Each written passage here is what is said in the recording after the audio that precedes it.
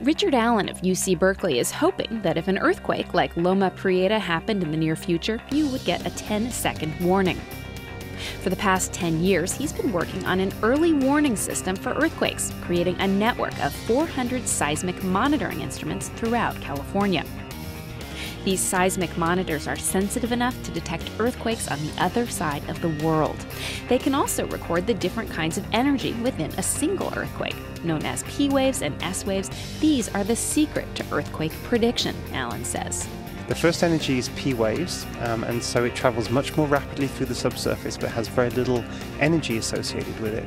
The second type of energy is called S waves. It has a lot more energy, it does a lot of the damage, most of the damage, um, but also it travels more slowly. So you detect the P waves, and then you can say something about the S waves that are going to follow.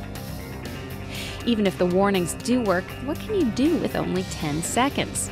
David Oppenheimer with the United States Geological Survey in Menlo Park says a lot. You really need to be thinking about automatic applications. Elevators stopping at the next floor when the door's opening. Alarms going off in schools saying, you know, duck and cover with a voice telling you what to do. Fire stations could open automatically. Metering lights on freeways could turn red. BART trains could begin to slow down. Oppenheimer says he can imagine cell phone applications that pick up P wave alerts and start counting down until the quake hits. But all agree that though these warnings could save lives, they would be costly. What would Richard Allen do with 10 seconds? The best thing you want to do is get under a table. It's that simple, nothing else. Get under a table.